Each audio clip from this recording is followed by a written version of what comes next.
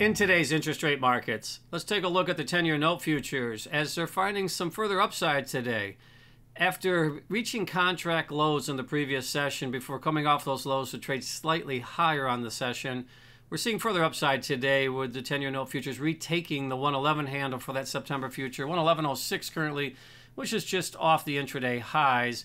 And we look at some of the driving factors. I think there's a couple things here. Number one, Fed officials talking this morning, indicating, uh, at least uh, from one of the chief officials, indications that she feels that we're closer to the end of the hiking cycle. And with that, the market reacted positively. Also, a digestion of the uh, jobs data from Friday as uh, it did come in below expectations.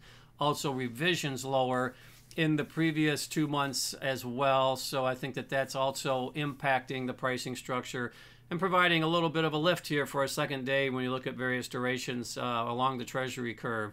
Yields, 10 year yield down four basis points here at 400 basis points, so hitting that 4% level. Now, we did see 398, excuse me, 398 basis points intraday. So just off of those intraday uh, lows in the yield. So, but still holding right here at the 400 basis point level for the 10 year. And the yield curve is moving lower across the various durations, really from the two year all the way out to the 30 year.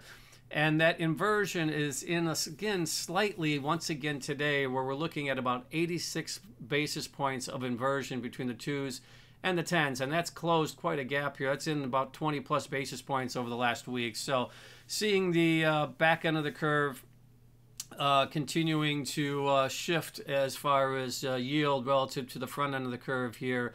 Not so much today, a slight variation as far as the inversion coming in a little bit. But nonetheless, uh, buying pressure here uh, across the twos through the 30s and the 10 year note future now finding some strength for a second session.